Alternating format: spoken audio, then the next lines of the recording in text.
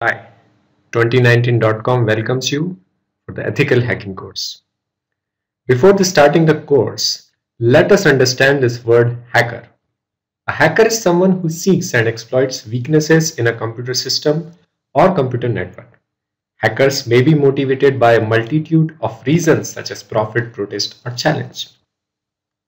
We have seen number of real world hacks in last few years, but the very famous and the recent one is the Facebook one in which the Facebook founder Zuckerberg's wall was hacked to highlight a security loophole. In 2012, we witnessed LinkedIn, a professional networking website, was hacked and there were 6.5 million passwords stolen. So all these companies which are represented on these slides are very familiar like Twitter, Microsoft, LinkedIn, Adobe, Sony, Apple and all these companies some or the other time have witnessed hacking attempts and they even have got compromised. So who hacks? So basically first type of people are black hats. They hack to gain some monetary benefits or to provide some harm.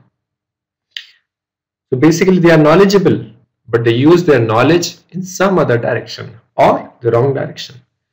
The second type of people are the script kiddies. They learn some techniques, some tools and they experiment and because of the experimentation they provide some harm to the applications, to the websites, to the networks.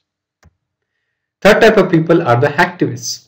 They hack because they want to protest against something or they have a cause or they want to spread a message across.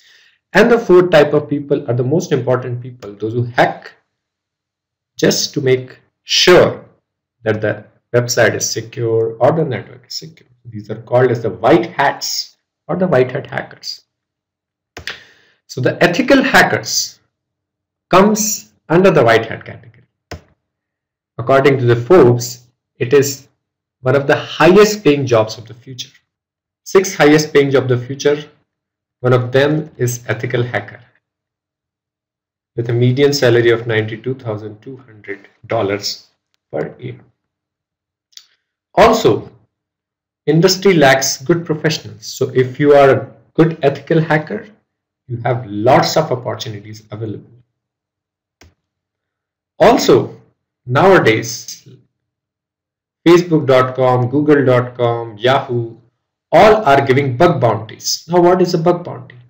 So, if you are able to figure out a security vulnerability in Facebook, you can report to Facebook and they will reward you minimum of 500 US dollars. Same way, Google has also started its reward program and as you can see, there are a lot of different categories of rewards and the reward varies from 500 US dollars to 20,000 US dollars. So if you are a good ethical hacker, there's a lot of opportunities for you. Now what are the skills required to become an ethical hacker? The first and the very most important is to have that attitude to attack something, to think from a perspective of an attacker and to figure out security loopholes. And of course, you should know how to Google. Google and the internet to use it efficiently and effectively to figure out your ways, to figure out your ways to find security loopholes. And you should always have this passion to learn because technology changes and many new new things come up every time. Don't let your passion die to learn something new. So what will gain from this course? You will gain the professional methodology of ethical hacking. You will experiment with the best known tools and technologies which ethical hackers are using in the industry. Also, you will be getting the resources and the pointers to become excellent in this field.